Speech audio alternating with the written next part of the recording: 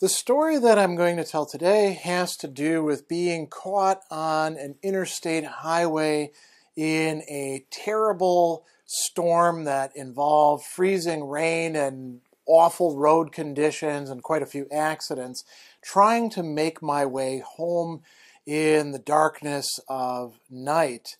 And it happened in northwestern Indiana when I was living there from about 2002 to 2000 eight when I was working at Indiana State Prison, teaching for Ball State University. And there, the one destination point was Notre Dame University, which you know is in South Bend, Indiana, really far up on the northern end of the state, about centrally located.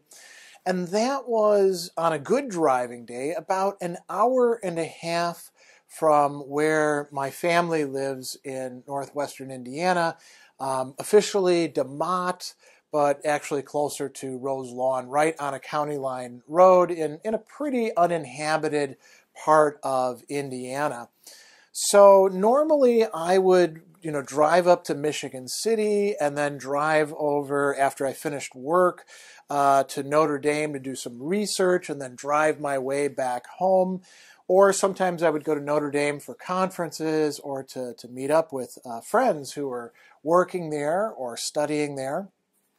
And as I remember it, and I'm not sure what year this actually was, it was in the 2000s, and there was some sort of conference that I was going to. I want to say it was most likely one of the Center for Ethics and Culture conferences, which were uh, you know quite a big deal back then. They had um, not just a single annual conference, but a whole bunch of other things going on and uh, Alasdair MacIntyre was a fellow for that. As a matter of fact, uh, I had a friend from Italy who was, was staying there, who also I think was a fellow. I'm not sure if it was at that, that particular time, but um, I spent a lot of time on the Notre Dame campus and at the, you know, involved in center events.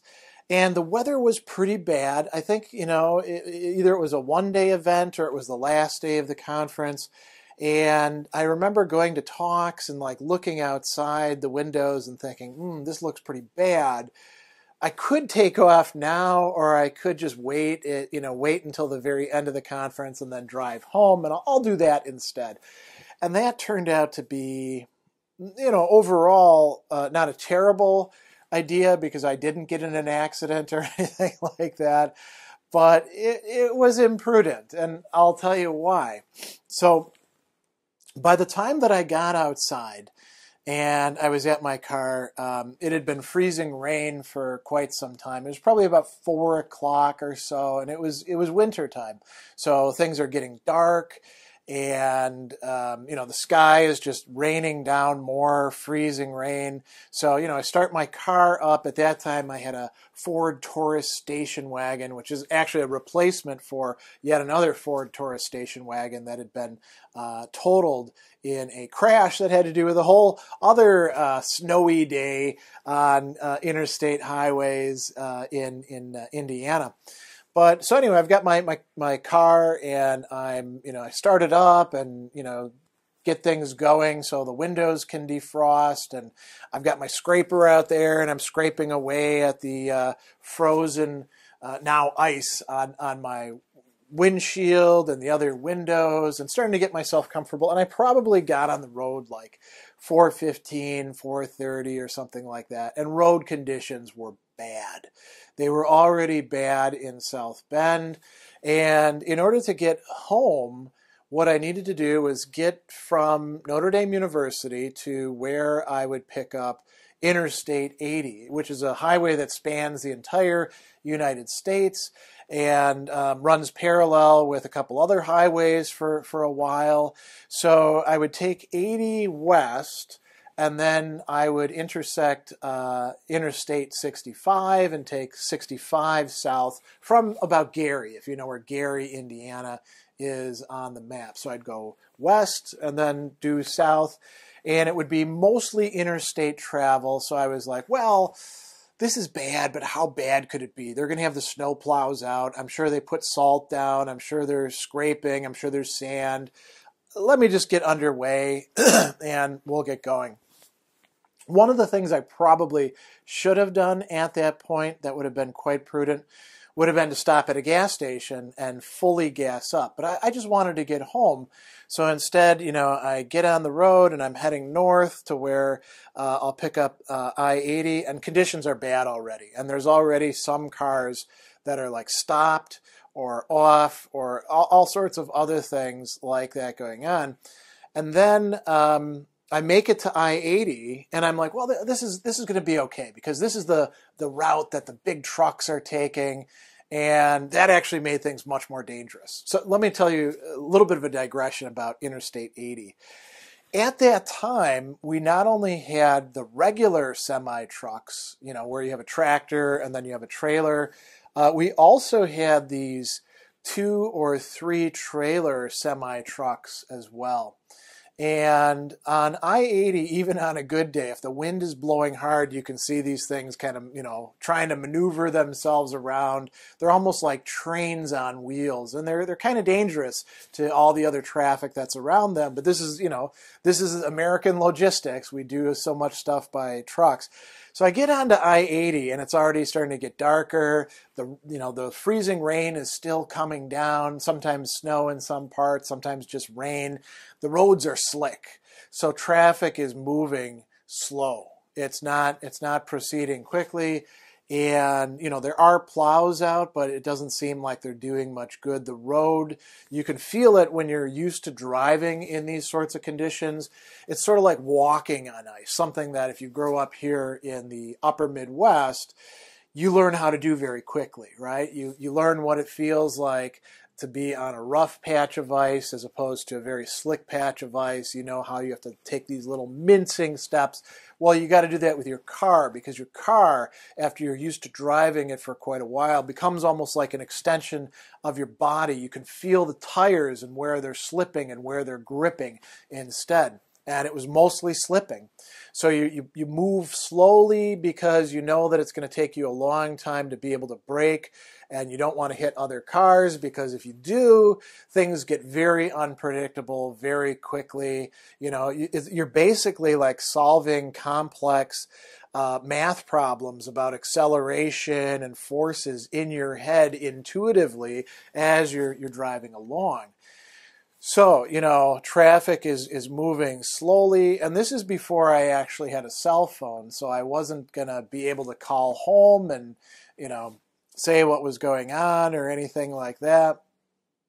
And um, I'm driving along, and I'm like, oh man, this is going to take a long time to get home. I bet it's going to take me two and a half hours as opposed to the one and a half hours that it normally takes me. Fast forward, it was actually four hours. Four hours for what would normally be a one and a half hour trip home. And, you know, there it was pretty harrowing, pretty scary. I 80 was good compared to what I 65 looked like. So it took me, I don't know how long, maybe an hour and a half to get to the interchange for um, I from I-80 to I-65, and these interchanges are where you you know you've got these on ramps that are kind of circular, and you got to follow it, and they can be sloped, and you know if there's any sort of gradation to it, you can feel your car on the ice actually sliding down slowly, and that's pretty scary too because you know that you need to keep moving in this curved line well not curved line this this curve right rather than a straight line. And you're like worrying about am i actually going to get there? Am i going to slide off of this on ramp you know in some way? Um, and so anyway i made it onto i-65 and now i'm like okay good i'm i'm headed home now. I've got the first part of the journey behind me. Cool this is going to be okay. And it was not okay. The wind was blowing rain is still coming down, snow in parts. You know, there's I, think I tailed a snowplow for a while at a distance, and even the snowplow was slipping. The roads were so completely slick that in parts we were just moving at like you know five to ten miles an hour um, long, long chains of cars and trucks trying to maintain some distance between each other. You definitely don't want to be up on each other's bumper at that time. It's now like completely night and you almost can't see anything. You're, you, you've got your defrost on, you got your window wipers going back and forth constantly, and you're struggling to see what's going on ahead of you in this, this storm, and you still feel your tires sliding and slipping and not gripping on the ice, and you're moving ahead almost like, you know, saying a prayer every moment that you don't fall off the road. And fall off the road is indeed what I saw happen. I saw a semi truck. So, you know, semi truck is, is heavy compared to a car. It's massive, right? and they have many more tires, so they ought to be able to grip the road better than a car with only four tires and a limited amount of weight. There was a semi truck ahead of me, and we were we were um, just about stopped. We were moving about five miles an hour, and I saw this semi truck start a slow slide. And it actually i guess the road at that point must have been you know uneven kind of beveled. I saw this semi truck slide off of the road like an egg coming off of a non-stick pan. And you could tell that the driver couldn't do anything about it. By this time you know as you're driving along you you passed dozens maybe even hundreds of other cars and semis who were off the road. You know, some of whom had put their hazards on and had just pulled off, and they were like, "I'm going to wait out this this storm."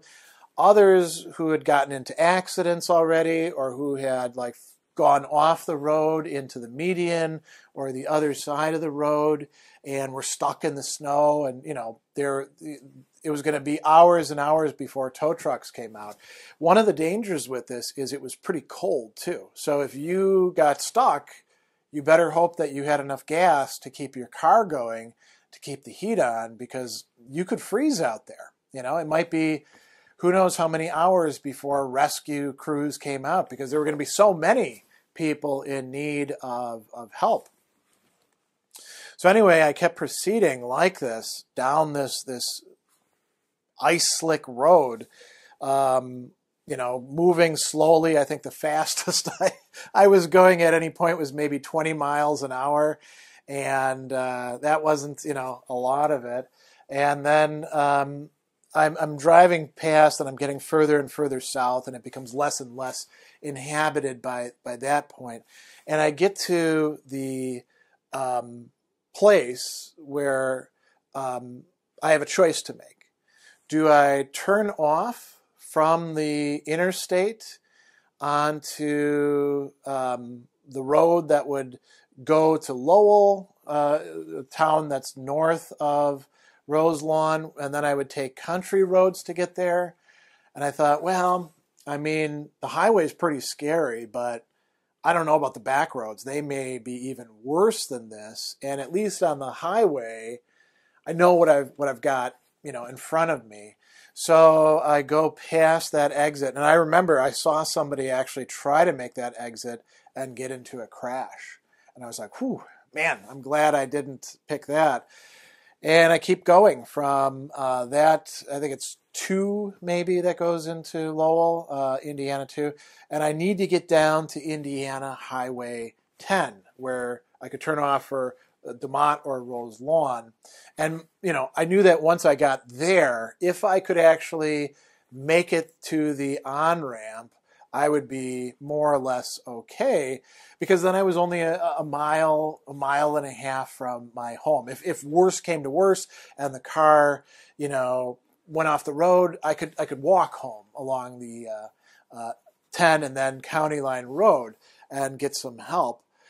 By this time, I'm getting kind of worried because I, since I didn't gas up, I'm at the point where I'm at empty and the you know gas light comes on. And there's there's on american cars right you've got the empty thing but you're not truly empty at that point. You got like maybe a gallon or two when the light comes on, you know you're really getting close. You're you're basically on fumes, and so you know I'm driving slowly, and um, I think I was maybe I, I, don't think I listened to the radio at all, except to like try to hear weather stuff because it, it needed all my attention for where I'm going.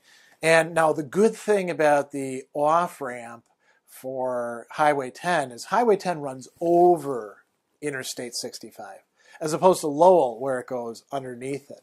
So you're going up the off ramp, and then you know it comes to a stop, and then you can turn on to 10 um, and going up in many respects is better than going down when things are really slick. I mean, you could get stalled trying to go up. And as I remember what I did, I actually I, I, went slightly off of the road there because I knew that the shoulder, which was paved, was rougher. And so I would be able to get more purchase there because I didn't want to go up and then slide back down, right? So I go up and I make it there and I get on Highway 10 and Highway 10 is pretty slick, but it looks like a, a snowplow had gone through there recently. So I was like, all right, so I just got to go less than half a mile to get to County Line Road. Got to turn onto County County Line Road, which had not been plowed. Um, and then it's another half a mile north to the turn in for our driveway. And, and I did that. And, um, you know, it was, it took me quite a while to get from 10 to County Line Road to our driveway and then get down. Uh, I, I, think I didn't even like try to pull into the, the garage. I think I just maybe parked outside and then got back, got myself back inside. And, and my family was like, where were you? What was going on? We didn't hear from you. And I said, well, you know, the road conditions were really terrible. By that time, it was like, you know, 8.30, 9 o'clock at night. Um, the, the, conference had been long over, and every I mean, at that point in time too, it was a bad winter storm. People were losing power. Um, there were you know announcements about you know closing highways and stuff like that.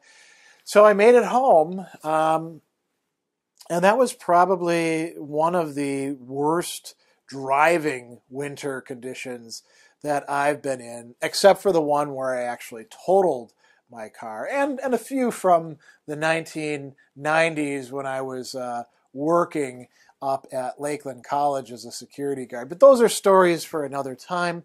Maybe you'll get a, a kick out of this story. I was just reminded because there's ice storms and freezing rain and snow going on in other places than than here in Wisconsin, and uh, it was reminding me of that one terrible night when I was on the road uh, just hoping not to run out of gas, hoping not to go off the road, hoping not to crash, hoping that I wouldn't get hit by somebody else. And I did make it home.